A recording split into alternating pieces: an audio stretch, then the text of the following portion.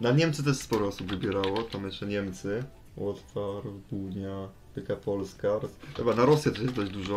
Demony, ale demony to pisze tylko IGOG. I tam będziecie wybierać po prostu pomiędzy opcjami. Trójek w ogóle nie widzę. Niemcy wywalam. Piątek to jest mało? Jak to to ogarnąć? Dobra, tu robimy ankietę. Ej, jak się tą ankietę robi? Bo ja nie, jak się robi tą ankietę? Halo.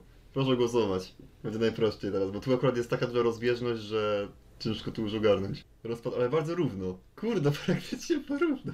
To chyba obydwa trzeba zrobić.